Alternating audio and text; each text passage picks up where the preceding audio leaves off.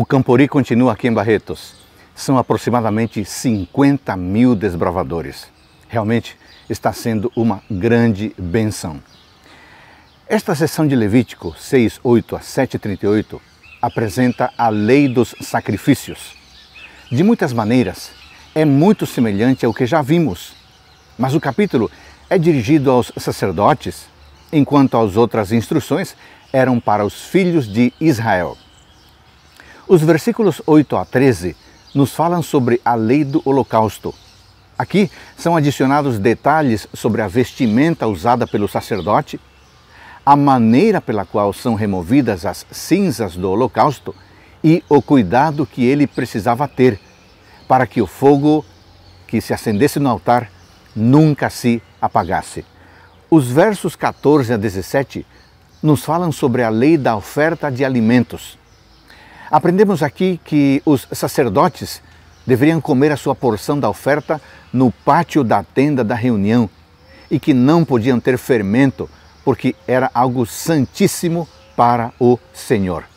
Qualquer homem dos filhos de Arão poderia comer da oferta de cereais, mas ele precisava ser santificado, isto é, cerimonialmente limpo.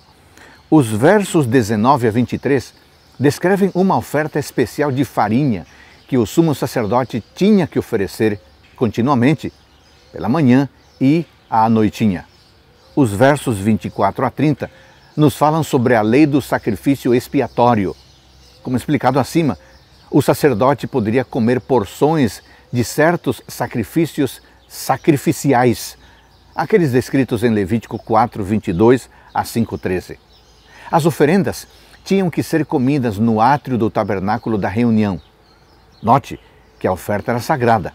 Se uma das pessoas tocasse a carne da oferenda, ela teria que ser santificada ou consagrada e teria que se purificar da impureza cerimonial, assim como os sacerdotes, embora ele não pudesse exercer funções sacerdotais. Se ele derramasse seu sangue em uma roupa, a roupa deveria ser lavada, não porque era impura, mas para que o sangue santíssimo não fosse levado do santuário para a vida comum e assim fosse profanado.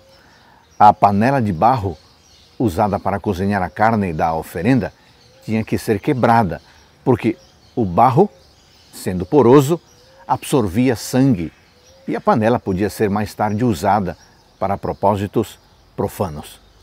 O vaso de bronze tinha que ser esfregado e lavado com água, para evitar que qualquer resíduo da oferta mais sagrada do pecado entrasse em contato com algo comum ou impuro. Amigos, existem muitos detalhes impressionantes.